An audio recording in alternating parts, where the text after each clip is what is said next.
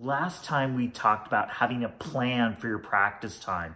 So once you've figured out where you're going to practice and scheduled out your time, you can just sit down and get to work.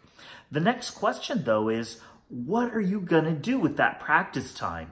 Now, I think you need to set some practice goals. And to do that, you need to ask yourself two very important questions. First, what styles of music do you want to play and what function does your instrument serve in that music? For example, if you want to play heavy metal, that's a very different set of skills than say, for example, if you wanted to play jazz. The second question is what players do you admire and what do they bring to the music that you want to emulate? Once you've figured out those two things, you are going to be able to figure out the theoretical and technical skills as well as the repertoire that you need to sit down and work on.